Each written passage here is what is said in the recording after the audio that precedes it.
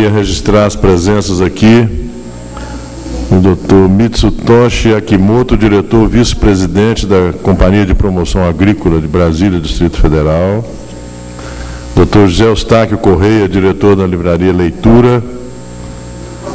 Senhora Heloísa Angélica Correia Vandrecica, esposa do doutor Mário, diretora-geral do Biocor. Senhor Marcos Evangelista Fonseca, chefe do Departamento de Contabilidade. Cláudio de Matos Ramos, chefe do Departamento Financeiro. Senhor Tiago Lopes Fernandes, da MV Sistemas. Arthur Pereira de Matos Paixão Filho, assessor jurídico do Biocor Instituto. Aristóteles Câmara Moreira Júnior, gerente de projetos da MV Sistemas. Luiz Lira Moreira, gerente de projetos da MV Sistemas.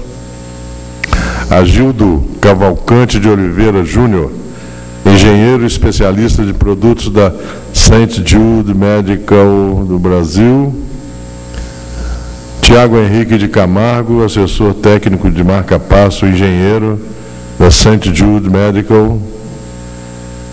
Carlos Alberto Rodrigues Póvoa, técnico de atendimento e vendas da St. Jude Medical do Brasil.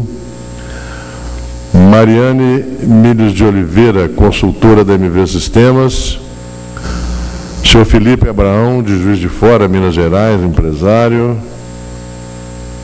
Senhora Kênia Aparecida Batista Ferreira, assistente administrativa da MV Sistema. Missionários católicos de congregações diversas que aqui estão, da Coreia, Indonésia, Eritreia, Congo, França, Etiópia, Argentina Honduras, México, Alemanha, Colômbia, Haiti, Quênia e Brasil. Instituição Centro Cultural Missionário. Bem-vindos aqui à nossa casa. Em nome da Câmara dos Deputados, em nome do presidente Michel Temer, desejo felicitar amplamente o Biocor Instituto pelos 25 anos de denodado e eficaz trabalho que levou a cabo no campo da saúde em Nova Lima, Minas Gerais.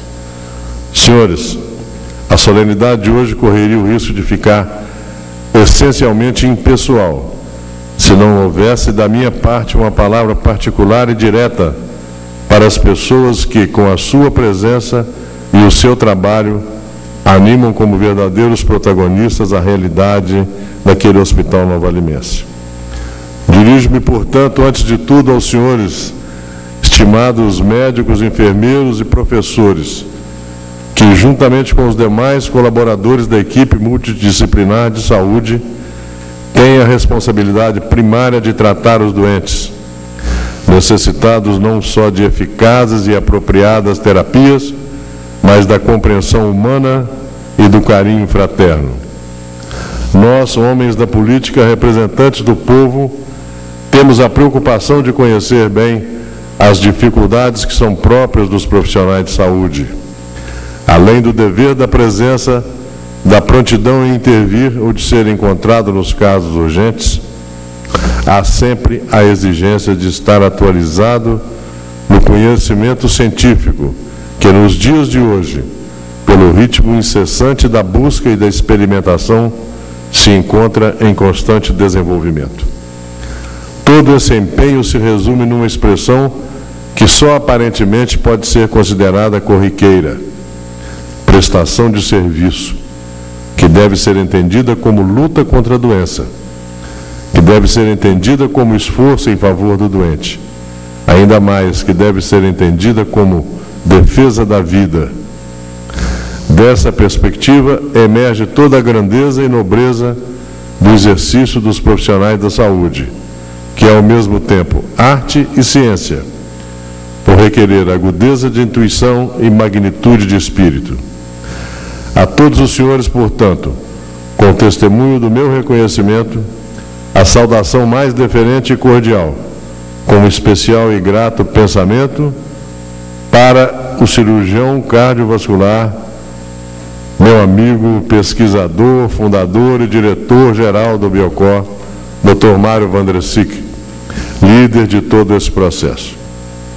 Senhores, a Câmara dos Deputados reconhece o serviço de alta qualidade e de inquestionável utilidade pública que este Instituto presta ao povo mineiro, comunicando uma visão especial do ser humano, da saúde e da vida.